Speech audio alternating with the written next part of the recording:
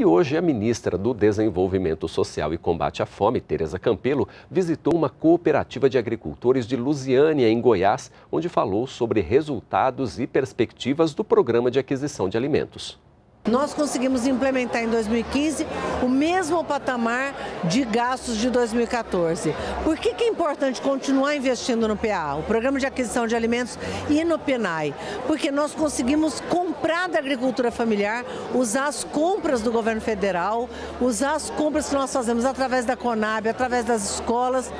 para manter a agricultura familiar forte e garantir alimentos saudáveis para a comunidade. Então, com o PA, a gente junta os dois lados, que é com o mesmo recurso comprar agricultura familiar e entregar para quem é vulnerável. Então, nós conseguimos ter um balanço excepcional e a ideia é que a gente possa manter né, essas ações para 2016 e ampliar nas compras institucionais, uma coisa que a gente já começou aqui na região, comprando, por exemplo, para o Ministério da Defesa